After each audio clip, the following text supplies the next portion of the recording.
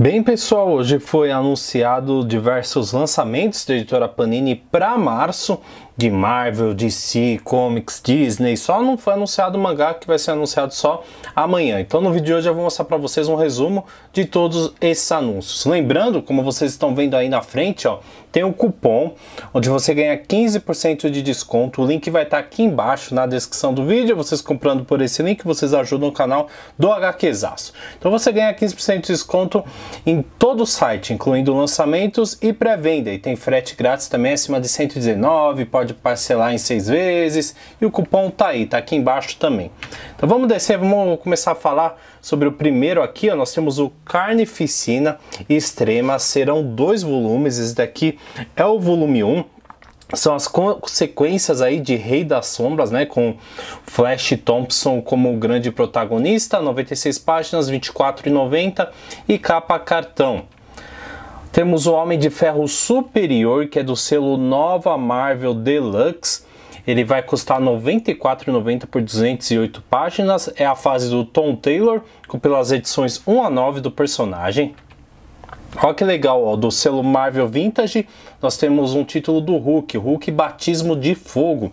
Ele está saindo por R$ 94,90, 216 páginas, capa dura, a fase do John Barney. E o, a arte também, o Sal Buscema participa, então é material de peso, esse aqui sem dúvida eu vou pegar. Esse aqui é o primeiro que eu vou comprar dos apresentados, eu vou ver se eu vou falando aí os que eu pretendo trazer aqui para o canal.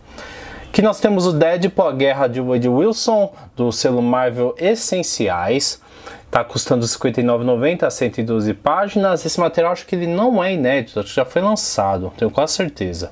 Agora aproveitando o embalo do filme, nós temos uma enxurrada de Doutor Estranho, ó. Nós temos esse do selo Marvel Essenciais, o Juramento, do Brian Vogel, né? E arte por Marcos Martin, saindo por R$ 62,90 136 páginas. Temos também uma antologia do Doutor Estranho, pegando diversas fases desde o começo até o ano de 2016. Então tem participação de Stan Lee, Jason Aaron, que mais? É, Marcos Martin também, Steve Dicto, entre outros. É aquela antologia que vocês conhecem, né? R$ 139,90 por 320 páginas mais Doutor Estranho do Marvelverse, que é um pouquinho mais infantil. Esse está saindo por R$ 26,90 a 120 páginas. Se você nunca leu Doutor Estranho, você pode ler através desse encadernadinho. E temos mais Doutor Estranho aqui, o Shambhala, né? O selo Grandes Tesouros Marvels. Esse aqui é um formato maior desse novo selo. Aqui vai ter uma sobrecapa que vai virar um pôster, então tem todo um acabamento diferenciado. São 80 páginas por R$ 149,90. O precinho é caro, né, devido ao tamanho e todos esses lances extras que eu citei. Próximo nós temos BioRail Beta. Essa provavelmente eu vou pegar, uma minissérie, me chamou a atenção pela arte aí. Daniel Warren Johnson, saindo por R$ 62,90 a 128 páginas. Material em capa dura, pelas edições 1 a 5. Se você nunca leu nada do personagem, fique tranquilo que dá para ler a partir desse encadernado. Agora o ônibus que já foi citado aqui no vídeo, né, da X-Force por Rick Remender, é um, essa fase aí é um selo desse selo ônibus, é a fase completa. Nós temos quase mil páginas por R$ 374,90, já está aqui na minha lista. Se você quiser já garantir com o cupom, ó, 15% de desconto, vai sair menos conto. É, deixa eu ver, 360, 74, vai sair quase menos 100 reais, é isso? Estou fazendo conta errada. Ah, não sei. Enfim, tem uns descontinhos aí. Agora nós temos a saga do Demolidor, o volume 1, que eu também já falei sobre aqui. Essa fase é após Frank Miller. Ela vai fechar em 9 volumes. Eu vou colecionar essa daqui, vou trazer para o canal. 36,90 a 144 páginas.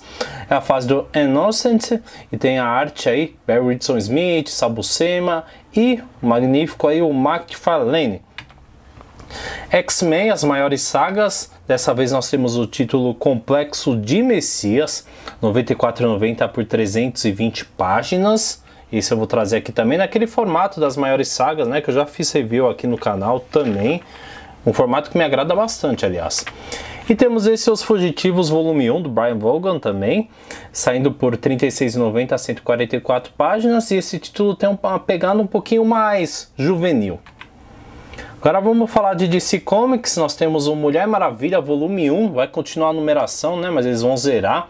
Vai ter uma capa variante que ela vai ser um pouquinho mais cara, porque vai ter relevo, brilho, enfim, aí a capa variante à direita e a regular à esquerda, a variante vai estar vendida em banca também, R$ 24,90 e essa série vai ser bimestral. Vou trazer para vocês esse número 1.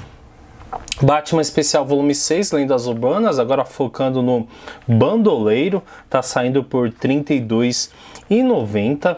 Agora nós temos uma enxurrada de número 1, ó. A hora de colecionar é agora, em março, então preparem a grana. Nós vamos ter o Lanterna Verde, essa nova fase, o volume 1. Lembrando que esses títulos da DC começa tudo nessa fase de fronteira infinita, por isso que eles conseguiram zerar também, saindo por R$ 32,90 a periodicidade, aqui eles não falaram. Temos o Coringa volume 1, não faz parte aí do universo da mensal, do a fase do James Tynion, que é a mesma do Batman, por R$ 39,90 a 160 páginas.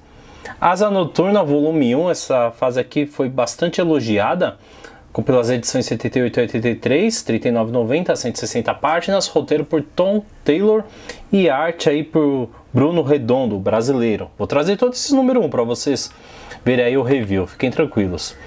Uma antologia do Batman Vilões, saindo por 184,90, quase 500 páginas, focando né, nos vilões, assim como o título diz. Arlequina preto, branco e vermelho, muito parecida com aquele Wolverine preto e branco sangue, o mesmo formato, por R$ 99,90.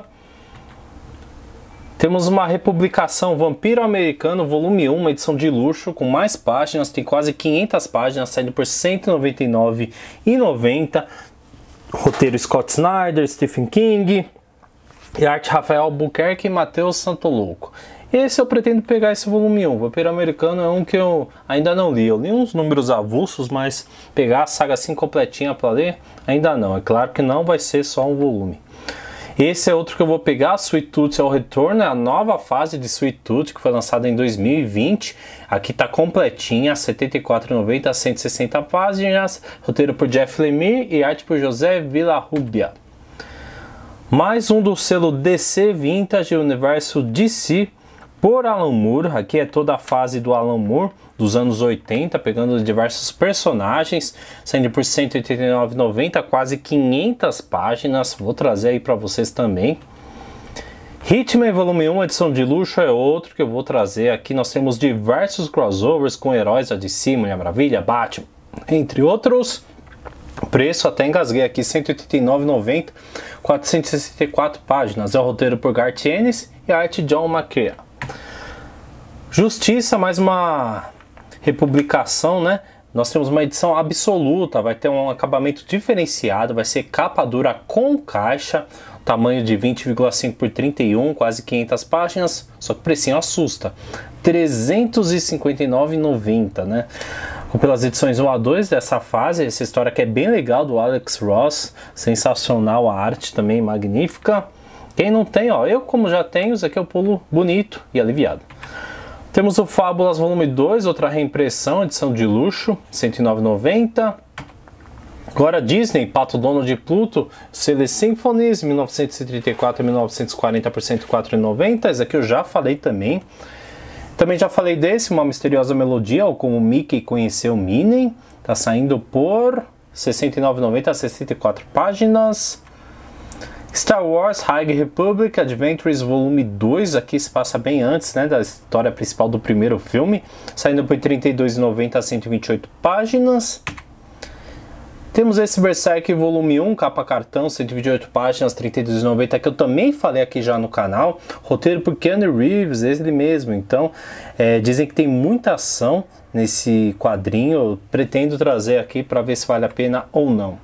Stranger Things, Erika Grande também, continuando diversos títulos, diversos leques de opções de Stranger Things, e agora nós temos esse título aí saindo por R$ 46,90, só 72 páginas. Então tá aí galera, comenta aqui embaixo ó, qual que é o, o grande destaque de todos esses lançamentos de março, como vocês viram eu vou pegar bastante coisa, tem muita coisa aqui que me agradou, infelizmente não dá para comprar tudo, acho que para vocês também é assim, não dá para comprar tudo, enfim, não esqueça de se inscrever aqui no canal da HQzaço, deixar seu like, comentar, compartilhar e até o próximo vídeo. Valeu!